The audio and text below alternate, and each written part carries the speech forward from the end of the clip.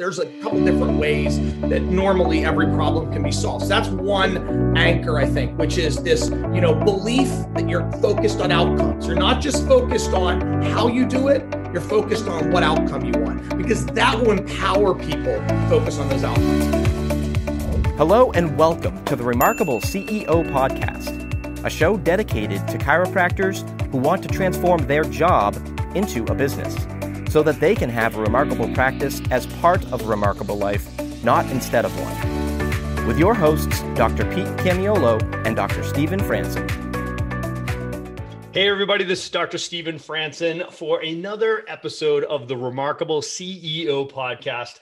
I'm super excited, as always, to join you guys for another awesome episode. Today is going to have a little extra awesome sauce because I've brought in a very good friend of mine this is Ken Stillwell. It's going to take every cell in my body not to call him Dr. Ken Stillwell, but Ken is the he's the number two man. He's the COO of a giant company in Boston called Pegasystems or Pega.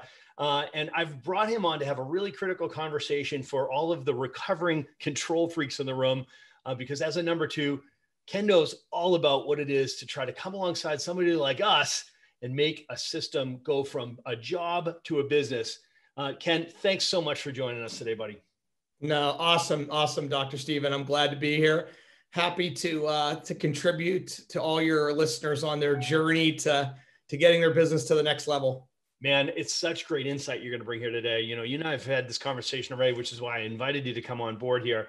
Uh, you know, as a chiro, if I were listening to this without knowing you, I'd be like, wait a minute, I'm trying to build a seven figure business. This guy's running a billion dollar business. How could I possibly glean anything from this other than just general wisdom? So, no pressure, Ken. I know you're going to bring general wisdom to this conversation, uh, but you know, I know you're going to share some tactics that hey listen there's things that trans translate across businesses and industries and small business to mid business to huge business right so I'd, I'd, really love to just focus our conversation in here today around exactly what I said. What's it like to come alongside of the recovering control freak? That number one, that entrepreneur who you know started off as an owner operator is now trying to become or has recently become the ceo they're growing up so to speak they've made this ascension they're so used to being the owner operator who has enjoyed a, uh, a certain level of success some of them wildly successful doing what they do best, which is raw horsepower, rolling up their sleeves, doing everything themselves. Now, as they grow up to become an entrepreneur, I mean, become a CEO, what they recognize is they got to let, let let go of some of those tendencies that made them successful as an owner operator, right? So those control freak tendencies, they've got to be able to embrace the creation of systems to create scale, and they've got to build up an awesome team of A players around them that they can trust, that they can delegate to, train and develop, but then just let them go do their job. So that's what we're going to talk about here today. But before we dive in, Ken, tell us just a little bit about yourself. How did you get into uh, uh, this conversation with me? Because it's an awesome background story, guys. I usually don't ask people to tell their chiropractic story, but you got to hear this. You got to know how this guy's got extraordinary insight into what it means to uh, to run a chiropractic organization, but frankly, how to be a chiropractor. So uh, yeah, so uh, so once again, thanks for having me. Um, so my my background is a little is is a little unique uh, because when you see if you if you read my resume and you see what I do, you would say, so how's this fit into chiropractic? Um, and so my wife is a chiropractor. Uh, my father-in-law is a chiropractor. Four of his siblings are chiropractors. My wife's grandfather was. My wife's brother is. Uh, four people that were in my wedding were chiropractors. Um, you know, I, uh, I, I probably would have been one if anybody would have actually put their arm around me and told me to go in that direction because I was always, you know, I, uh, I, I, injured myself when I was uh, playing basketball when I was younger, hyperextended my knee, and I went to a chiropractor, and it was really helpful in the recovery when I was kind of later in my high school years but I just never really had anybody that I didn't really understand what chiropractic was at that time. Um, I never, I was always a very natural focused person. I've never taken medicine in my life. I mean, like maybe when I was like 10 years old or something, but I've just, it just felt wrong to me. And so I've just, so philosophically, when I met my wife, we were very aligned with just trying to do as much as we possibly can to be, you know, to, to let your body do what it is meant to do. So it's always kind of been kind of part of who I was. Um, but I spent a lot of time at Palmer Chiropractic, which is where my wife uh, went to school, and I actually was uh, was traveling a lot for work, so I actually lived there. Um, went to classes. I always joke with some of my buddies and say I probably went to more classes than they did, um, but uh, but I, I I really got to be immersed in it, and because of that, it's kind of just been part of who who I've been. Um, my my father-in-law is a very influential person in my wife's life and actually in mine as well. Um, and he's really a great role model for, I think, how you should be a, a, a patient caring person in any profession. And so it's really so. My wife, my wife is a, is a chiropractor and and um, does wellness as well. Um, I am uh, an owner in that business. I would say, you know, mostly by name only, but I am her advisor in terms no of no uh, governance whatsoever. Yeah, I mean, I can't help myself. You know, I got like, um, and I think that I do help her uh, kind of, you know, think about the decisions uh, that you make along the way. Um, in terms of how that fits in to what I do. So I've been, I've been, um, I always joke that I'll, that I'll write a book someday called being number two, you know, and because I've been basically a number two at almost every single company that I've been at since I was, you know, 28 years old. And the thing that's awesome about it is I got to, in almost every one of those, it was actually the entrepreneur or founder of the business.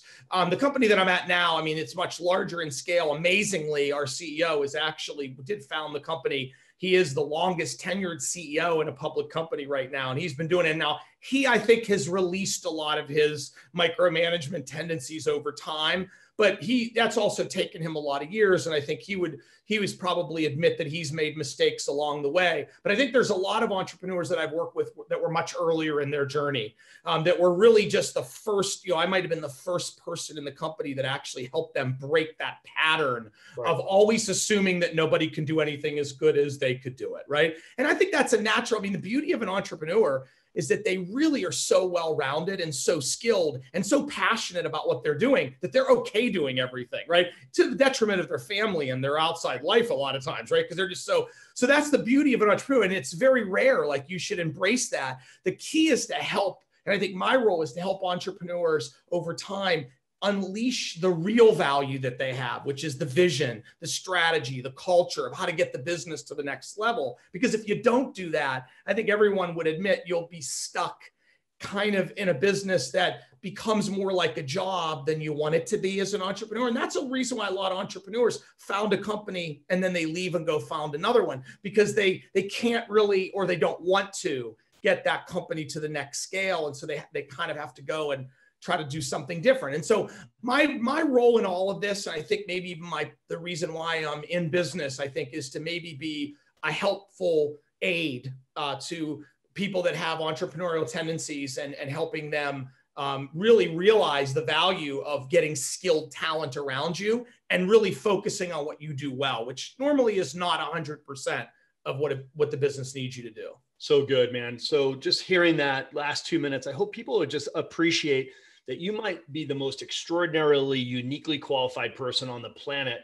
to have the con- this conversation right? So the idea of your you know uh, a number two running uh, you know this isn't your first picnic right? So money r- running multiple multi-million dollar and now multi-billion dollar company as a number two working closely with a person that most of the listeners probably really relate to and relate with which is that entrepreneur that started the whole thing that's trying to this painful process of breaking away from all those control freak uh, tendencies those entrepreneurial tendencies that actually got them where they are. And, uh, like the old expression says is exactly what's keeping them from getting to the next level right? So man you're just a perfect person to do that if that was the if that were your only criteria uh, or credentials but the fact that you are married to a chiropractor and you know let's let's tell the truth you went to palmer right? so i love the stories and when you say friends i'm going to drop names here right so friends is not just dr brooke right that we love but you know we're you know we're talking about Mark Mount, we're talking about Eric DiMartino, right? We're, we're talking about this community knows these guys, right? So you know we all smile when we if we just think about you guys as grad school students, you know, hanging around together at chiropractic school. Um, one thing you said to me, just I just smiled when you said I was at Palmer so much. I was at, I was on their flag football team. it's like to give you a sense of like how much how much time you had spent there was phenomenal to hear that. And we only say that, and the only reason that's important is because it just gives you such incredibly valuable insight. Like you've seen the entire process, right? So we teach the four seasons of the chiropractic career in the remarkable practice, right? So there's launch, build, scale, and exit. And then we before that, we actually have TRP clubs in school, and then we have a bridge between those two things called Next, which means what's next for you. I mean, you've literally been through every single part of this. Uh, so, man, you just have a very unique perspective. Uh, so, I'm going to pick your brains a little bit. I want to go a little bit deeper on something that you were saying there, as far as like, as the number two, you've got to be that person that um, cleaves away some of the responsibilities that a CEO would typically burden themselves with. Like they the ceo or the owner operator i should say really shoulders so much of the responsibilities. We have a really hard time just not getting our hands on literally as chiropractors getting our hands in and on everything especially when your first three four five 15 years of your career absolutely required that right? So to really make that leap to go from you know being that person who does everything to being that person who systematizes everything to being that person who trains up, who who hires A players, invests in training and developing those people. Talk to us about like some of those key things that you've seen that the doctors do, or excuse me, that the owners do successfully in that process. How do you how do you get them to cleave those things away? How do you get them to identify the things that they should really be focusing on, get into their zone of genius, that type of thing? Sure. So I and I like using I like using some some analogies that kind of help crystallize this. But if you think about, you know, there are there are world-class athletes that either their skill level or their training, they have a certain way that they do something. And that that has made them successful. It doesn't mean that that's the way that everybody needs to do something to be successful right? The reason why if you watch golf or some sport that the same person doesn't win the tournament every single weekend and the people that win it sometimes they hit it far sometimes they're good putters sometimes they're in between. It's because there's lots of ways to win right? It doesn't always have to be the same way one of the biggest hurdles that i've found is that entrepreneurs found a way to make their way and they do it the way they view that it's that it's comfortable for them to be successful and the more that they can break away from that and say i want an outcome i don't want it I don't, and sometimes i don't care how you actually get to that outcome, right? If you want something like, I want to pay a certain number of dollars to be able to get a new patient in the office, there are probably multiple ways to approach that. There probably just isn't one trick. And so, with an entrepreneur that maybe did it a certain way, they may have in their mind that that's the only way to do it. And sometimes you have to allow people to think about the outcome that they need to get to and really focus on, well, now let's document that. Let's test it. Let's make sure we have the right KPIs. Let's be transparent and honest. Let's measure. Let's course correct if we're not getting there. But if you build that kind of culture of, I care about the outcome and I want it to be a repeatable, sustainable process, there's a couple different ways that normally every problem can be solved. So that's one anchor i think which is this you know belief that you're focused on outcomes you're not just focused on how you do it you're focused on what outcome you want because that will empower people to focus on those outcomes another key tenet is ownership and accountability. And sometimes that can be done through incentives and compensation. Sometimes it can be done just by telling people that you trust them and you know that you believe in them and you know that they can get it done. Many times that's all people need to really feel the ownership of, like, I'm going to go win, right? So I think that it's very important for the people in your office, the people that are doing different parts of your operation, feel ownership like they're the ones up at night when it doesn't work not just you. Like that's the kind of and and you want them to also be aligned financially to that. So you need to make sure that they feel like they win if the company wins. Whatever way that is could be career it could be financial it could just be pride right? A lot of people are competitive and they want a third anchor um, a third maybe tenant in that. And this is this is probably the one i think that is um, maybe the hardest which is get the right people.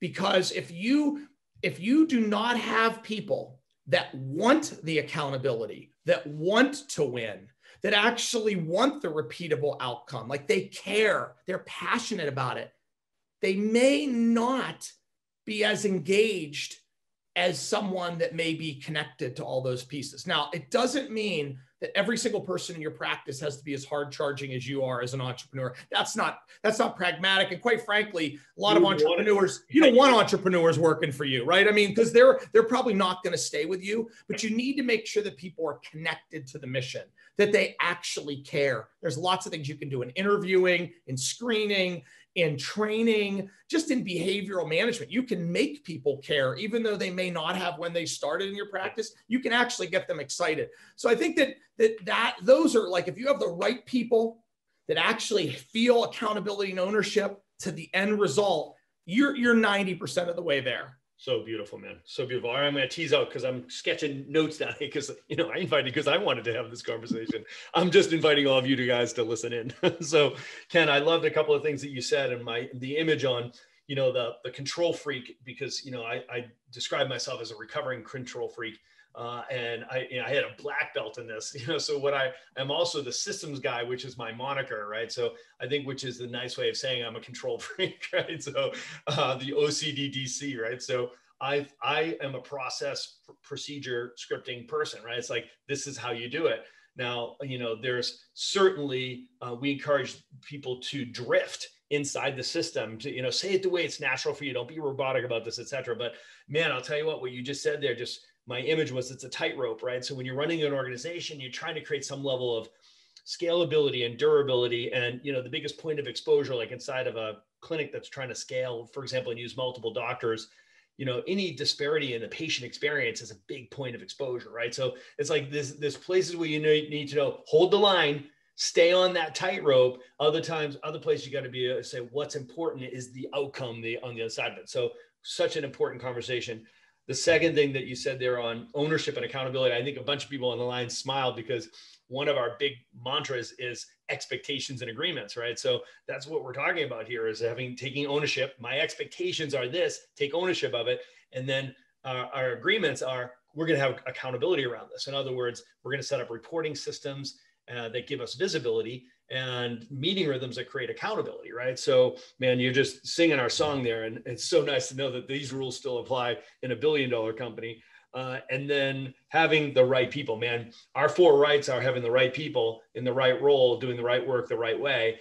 The right people is the first one on purpose, right? So it's like if you're going to spend money, in our opinion, the best money you can spend, the best ROI, the best investment you can make of your time, energy, focus, and money is in your people, right? So bringing in the right people, investing in having the right people, training and developing your people. Um, man, it does. It comes down to making sure that you're yourself with the right people, or you can never be the CEO.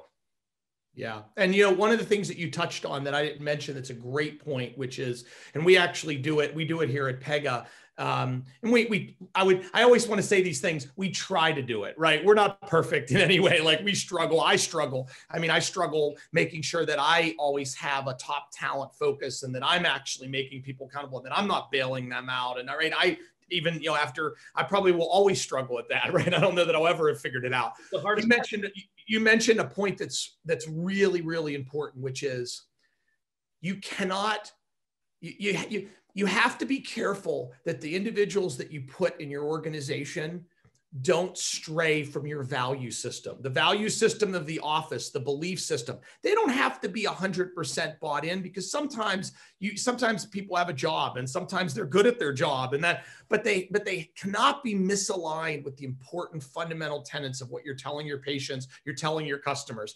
And if you believe like I'll give you a great example. If if you if you if you um, in a company like Pega, if you value diversity and inclusion because you believe having a diverse workforce represents the communities and the customers that you're in, and you really believe that, and you have managers that don't buy into that, they they they have to they, they have to move on or you have to convert them because it's so fundamentally against right. an important part of your tenant so i you know i think that those you know and i'm not i'm not going to use i'm sure you guys can think about or you know think about examples of people that you had in your office that you say oh that probably wasn't a good fit, good first view for a patient to see or a good experience. But but i think it's all about your practice your office right? You make the rules. It's your business right? And you don't have to follow anybody else. So long as they're aligned with your values you feel like they're not compromising and you're not compromising. And i think that's an important part of it Okay, let's take a quick break and talk about Chiro Matchmakers. Chiro Matchmakers will help you find the right person for the job. If you're looking to hire the ideal chiropractic assistant, Chiro Matchmakers will help you find the specific person missing from your team so that you can get back to using your talents to serve more people. Or if you're looking to hire the ideal associate doctor, CMM can help. Chiro Matchmakers helps chiropractors like you find the ideal associate doctor to unlock your practice potential and get you the freedom that you desire. To learn more, go to chiromatchmakers.com. And now let's jump right back into our conversation. So good, man. So, I mean, you want to figure out what what business you're going to own, just turn around and look at your team like that's the best predictor of like what is the what is the outcome? What's the output of this business going to be? What's the experience for the consumer? What's the environment going to feel like? What's the culture the look and feel like? It's like it's going to be your people. Because i mean we have systems that are used by thousands of doctors around the world and you can walk into a thousand different practices and wow different experience different different look and feel. So it's as critical as having the right dna having the right systems that you're running et cetera man, start with those people, man. Take a look at those people first. So, um, all right. So I'm going to, um, I want to ask you a question very specifically because I know you know the space so well. Um, not only living in it yourself, owning a practice with your wife, watching her grow up, being in the family culture, multiple generations, etc., growing up in school with everybody, right? So you know the doctors of um, uh, UAC as well. You're in the Ultimate Achievers Club with us. Um, so you're around enough chiropractors, but I want to zoom in. I want to get really specific. I'm going to kind of put you on the spot here. Um, I was going to ask you what advice would you have for Brooke at her level of practice, but I'm not going to do that to you because I know that you got to go home and you're also probably a little too close to the rock face. Yeah. But you know, you know Eric D, right? So you know Biggie, you know where he is right now in his business. You know he's now just his for the last two years. You've watched how beautifully he's scaled, adding associate doctors seeing that he doesn't have to be the guy that adjusts everybody, making sure that his freed up his doctor wife who wanted to spend more time with their kids at home, right? Brought in his sister in law. He's got another young associate doctor that's working in there. He's created an environment where he's making it really easier for these people to be successful as caregivers. And he's just really watched the business flourish. Simultaneously, he's taken his first more than one week vacations in 10 years in the last years. I mean, next level for Eric. I mean, you know him well. Give him some direction, like because there's doctors like Eric on the line right now. It's like, what does next level look like for him? What are some of the things? Just like you've been on this trajectory in businesses that have gone multiple, multiple seven figures and beyond. What uh, what kind of advice do you give to somebody like a super performer in our space, like an Eric? So, so my guess is that lots of people that are successful have traits like Eric. He's super smart He's very hardworking. He's very committed. He's a process machine, right? He, he normally can figure out pretty much any piece of the business himself. Um, and, and I think that that is one of the reasons why he will always be successful in what he does, which is many of your audience will be the same. The biggest problem he's going to have is letting go right? And you just gave some examples of some of the journey and the transformation that I'm sure he's going through, which is figuring out where is the best use of his time. What's the 20 to 30% of the things that go on in the practice that he will excel at? Not only because he's good at it, because he loves it. It's sustainable. That's the other aspect of it. It's not only what you're great at, it's what you love to do, because then you can do it for the rest of your life and never feel burnout. And then you got to figure out all right, how do I actually build systems and train people and engage with them so now they can take the other 70 to 80% of that and do it. Maybe not at the level that he might do it. Maybe, maybe one degree of separation down. Quite frankly, maybe one degree of separation better than he does it. Right. But yep. the reality is you got to accept that. And I think that, I think that that Eric is, you know, sometimes you get to a point where you're successful and you kind of have a, you can kind of pause for a second and say, all right, now how do I get to that next step? And I'm sure as you're building a practice, you don't have time to think about that. You know, you're just trying to make sure, like, I got to pay the bills, I got to get the kids, I got to save for college, I got to get my house paid off. I want to make sure that I don't have to live week to week, and I want to hire the next doctor, and I want. But once you get to a point where you've kind of done it for a number of years in any business, you can kind of get a little bit more. You can see yourself a little. You can step out of your body and watch the things that you do and go, gosh, why do I have to, uh, why can't I take a vacation? why am I always the doctor going in in the evenings and on Saturdays? Is this really the way I wanted it to be? Or did I actually do this to myself? And I think that you, you have to really be able to step back. And I, and I've had lots of conversations with Eric and I think he's very self-aware yeah. of actually, which a lot of people are not, right? Which is the biggest challenge is to be self-aware and recognize it. Um, and I think, you know, when we were in Park City and we talked, one of the question, one of the comments in, in uh, when I had spoke, one of the comments that he made to me was, he's like, you blew my mind saying that I should only do, I should only be focused on 20% of the business. And like, I should, and I should have somebody else doing 80. And he was almost like, you know, like, wow, like that's, I wasn't thinking about it that way. Have that flip. Right? Yeah. That, and, and cause you want to do the 90 and then you have people doing the 10 that you don't want to do. But the reality is you can't scale business like that, right? It's very challenging. So I, I think that probably most people that are successful, but trying to make that next leap are have all done work ethic, intelligence, hard work, commitment, great with people. Probably employees are loyal to you, right? You have a vision. Now you got to get to the next level. You got to figure out how you turn that that practice that is only worth something if you're there into something that's worth something whether you ever come in, right? It's turning into a business that's right. from a that's I think that's all what probably most of the people listening to this are trying to to take that next step. That's exactly right. So, you know, what we teach inside of this system is, you know, it's really a trifecta to go from having a remarkable practice to having a remarkable business. There's a trifecta that you got to link together, right? So, the first is the obvious one, which is bringing in the remarkable associate doctor, right? So, it's like, okay, I got to either bring one in or I've got to really invest in bringing my mine up right? So most of them are just not managed properly. They don't understand how to how to lead an associate doctor how to optimize it. Their expectations are sideways. They don't really think through what you know the difference between a business builder and a caregiver. Like that's a different conversation for a different day. But i think that's the obvious one. Most of them's like if i could just get one or two or three really high performing associate doctors then i'm scalable. It's like not so fast. They're a critical part, part of the equation but that you know that third part so there's you as the ceo there's the remarkable associate doctor there's the office manager to remarkable coo is the mm-hmm. third piece the third leg of that trifecta and man just like you went through this ascension as an owner operator into the CEO doc, you've got to make this ascension for your for your office managers as, as, well, right? So maybe they started out as a checkout CA, then they became the back office or business office manager, then they became the office manager because they took on responsibility for running the team. Now you have to make the ascension from office manager to COO and let them run the business. So Kenny, that's what you do, man. So I, this is your opportunity to think back about all the things that all the number ones have been, you know, they that drive you crazy over the years and be like, advise these number ones that are listening right now. It's like, guys, as the COO, I'm turning and telling you, like, start doing this and stop doing that. How do we optimize somebody like you who's just so critically important to just the success of the business, the growth of the business, but also getting the doctor to the place where they can have a remarkable practice as part of a remarkable life and not instead of one. How do we optimize you? So I think the uh, a, a, couple um, a couple things that come to mind uh, through the years.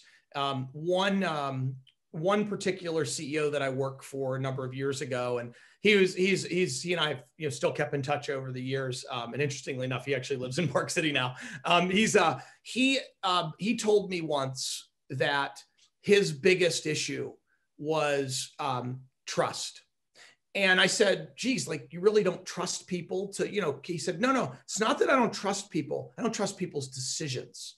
I don't trust people's ability to make a decision at the quality that I think I can make a decision. And I said, and do you think that you've had good people around you and you still feel that way? And he said, I do. And I said, so you know what you need to do is you, you need to actually let people make those decisions, but give them a framework in which they need to make those decisions. Now you could call that a system. You could call that a KPI, a goal, a, you know, a, an objective. Give them what it is that you want them to do and maybe some boundaries on how you want them to do it, right? And you want new patients brought in but there's a you know there's a certain amount of cost and there's a certain type of patient and there's a certain style in which you would market to bring those patients in right and and then watch them and coach them teach them tell them not how you would do it but why you think maybe some of the steps that they're making may not be aligned with the process and then commit to the process evolving because maybe the process isn't perfect. And what's happening is what they're learning and what you thought worked, there might be a kind of a merge of those two that might make it more optimum. So the first thing I would say is commit to mentoring, commit to teaching, commit to monitoring and measuring, but let them do it. Don't, don't manage, mentor because you'll be amazed at what people can do if you give them an opportunity. The next thing that I think is that I would say is a, another di- a different a different CEO that I worked with. Um, I would say you know be consistent, right? The worst thing that can possibly happen is is what what what I call you know the the whack a mole CEO, right? If you know, remember that game in the video, oh, yeah. right? And there's CEOs that literally they don't know what they care about until that day, and they care about things that to an outsider it looks very scattered. Like no one can figure out why you care about why the light bulb is out in the in the waiting room versus why the you know the the you know a patient is taking too long a doctor's taking too long with a patient. People can't figure it out and it feels random. And so therefore they think the processes are random and then they get confused and they're less effective. So i would say ceos can really damage an organization. If they come in and they basically just scatter all over the place and criticize things because they probably have a reason why they're criticizing, right. but they have to be they have to articulate that. There's a whole backstory, and that person receiving it is only getting five percent of that, right? So exactly to explain it once again, coaching and mentoring. Best thing a CEO can do is coach and mentor. And then there's another there's another example I can think of of a of a CEO. This is very early in my career where the CEO wasn't on top of the detail. So that what the CEO did was set a vision, assumed that everybody was doing it, but didn't have measurements, didn't have the KPIs, didn't have the transparent discussions, didn't have the checkpoints every week, every two weeks, every month on how the practice was doing, how the business was doing. And then things just popped up. And by the time they popped up, the problem had seeped way through the system. And it was really like almost a, uh, almost a, a, transformational kind of oh we got to fix this now. We've got somebody stealing money from the company or we've got somebody that completely had a bad experience with hundreds of patients and we didn't even know it because we never asked patients who didn't come back why they're not coming back or whatever the thing. So you've got to make sure because if you're if you're going to step out as a ceo which is a beautiful transformation you have to make sure that you've anchored in enough of the operating systems that you can actually measure what's going on. By the way, sometimes you can do that in one hour a month, right? right. If you do it right, I mean, that might, it might actually be that you might be capable of doing that, but right. don't step away and stop paying attention to the way the business is running. Because if you do that, the business will take on a life of its own. And that may or may not be the outcome that you want. So I love this. And, you know, we, we talk a lot about having reporting um, systems and meeting rhythms, right? So it's that reporting system where the doctor can just glance at a report and sit down in a meeting rhythm with the appropriate person. Now they've got the visibility and the accountability and the efficiency of it. So the CEO can do what we do best, which is assess, then plan, prepare, and execute, right? So uh, the other key to that being done well is having a person like yourself. And number two, who can be in the weeds, hands in, they're the one like they're they're it's almost like they're the bridge between you and the rest of the organization. And if you you know you get like what they call in traction the same page. If you get on the same page with your coo ceo ceo that dynamic that relationship is so powerful you can stay out of the weeds with the team and the in the in the day-to-day operations. And you can get back to you know stop running the business start leading the business right? So i think it's a big part of it. Um couple couple of things that i pulled out of that ken i loved the expression don't manage mentor. So uh, that's fantastic. We all need to hear that. That is i mean that that's like the you know one of the the key tactics for or philosophies i should say for getting getting on the other side of that control um, that need to feel control. So not stop micromanaging start being a mentor and a leader. Um, be consistent right? So, uh, so i'm sure the docs are listening right now that probably feel convicted on that is like man if you don't have processes and procedures defined if you haven't put together goals and you know put out accountability around who's supposed to do what to achieve those goals and set up those expectations and agreements next thing you know you're just running around pain solving and firefighting all the time. And some of the things most people didn't even see as fires and you're jumping in all over the place and then you're shifting everybody's energy. So as a ceo our job is to marshal the time energy focus and money of the organization and it's based on what we say is important. This is what's important now, and this is what's important next. So that CEO's job is the WIN. What's important now? Don't move the goalposts on everybody. Don't be erratic and be all over the place, man. That was gold, Kenny. Uh, and then the last thing is I think a lot of chiros are super guilty of this. The other end of the spectrum, really high level, and everything's up in our heads, but we don't articulate that vision to the team. We don't stay engaged and involved. We don't have these mechanisms in place that you know keep us honest and keep us connected to the organization. Cast the vision, and then we we go and we just start adjusting people, and we think that everything's going to be okay. Uh, because you got this. I'm going to do my job. You do your job. And then at the end of the month, the end of the quarter, you know we're uh, we're a house on fire because things didn't quite go the way we had we had hoped they'd go. Yeah. Uh, so um, there was a doctor uh, at uh, I think it was at Lyceum one year. I was talking to one of the doctors that came back to speak, and uh, this is when uh, when my wife was at Palmer, and um, and I was having it was a conversation. He was having a conversation about um, the example was so and I, am not sure if it was him or maybe it was just a colleague of his, where the doctor said, I'm seeing 400 patients a week. All is good. And somebody asked the question, Well, well how, what's your average revenue per patient? And he said, I don't know. But I know I'm seeing 400 patients a week. That's got to be good, right? They said, Well, and they turned out that like a hundred of his patients were no bill, were no charges or whatever, right? So you end up with this scenario. Now, maybe that's part of your strategy. That's okay if it is, but you should have that part of your strategy, right? You should know, you should measure because maybe you expected, you know, it to be whatever dollar and it's not, or, or maybe you're trying to actually do a different type of practice or what. So it was just an interesting, you know, that was one my wife, her first job, went to work for a doctor in uh, in Rockville, Maryland, and um, you'll love this. And I, I, even to this day, I'm like, I have a hard time even processing how successful he would have otherwise been. She, um, she, she was pregnant with our first child, and she didn't want to. She was later. She was, you know, as a first child. You know, she was. She didn't know what to expect with a pregnancy. She was in like I think month six or month seven, and she wanted to stop adjusting, but she didn't want to stop working. And the doctor said, "I'll tell you what." He said, "Would you mind?" trying to figure out this whole insurance reimbursement thing because I, I, have a lot of stuff I don't think I'm collecting, and I'm not sure if my office manager just it would be really helpful.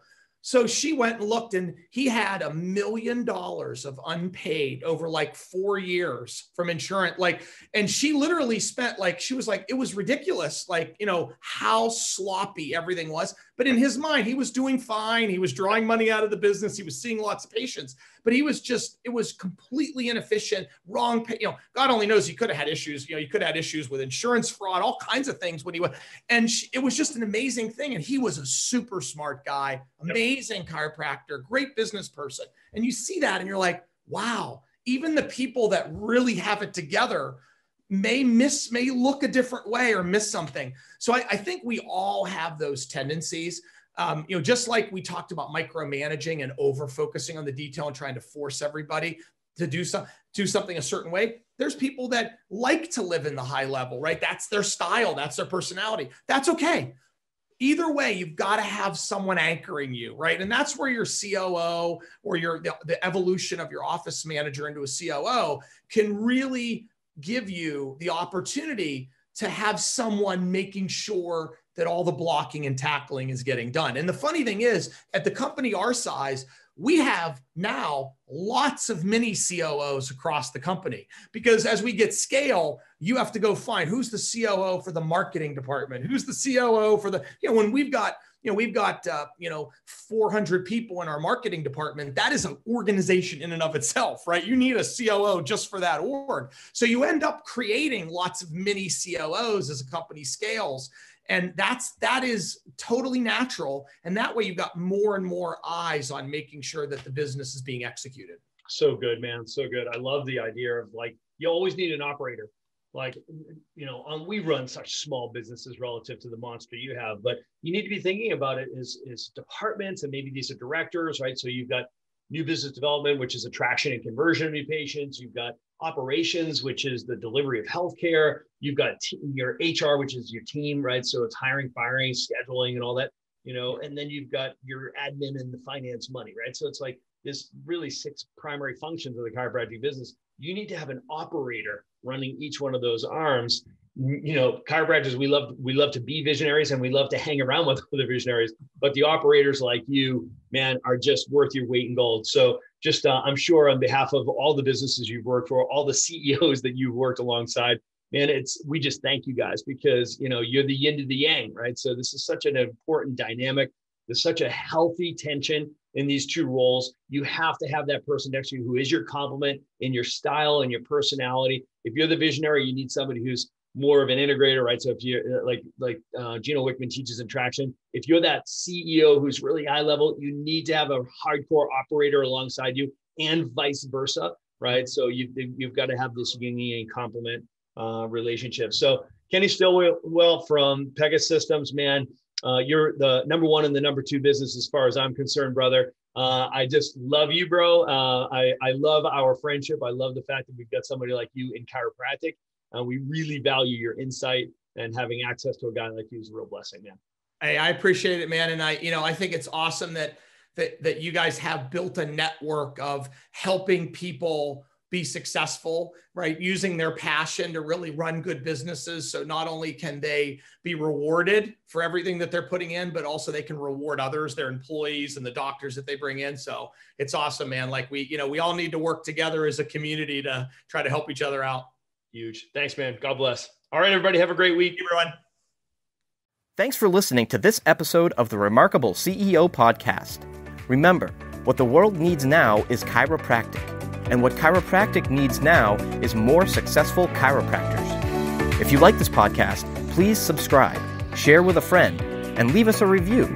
And if you'd like to connect with us personally, direct message us on Facebook, LinkedIn, or Instagram. Now go and be remarkable.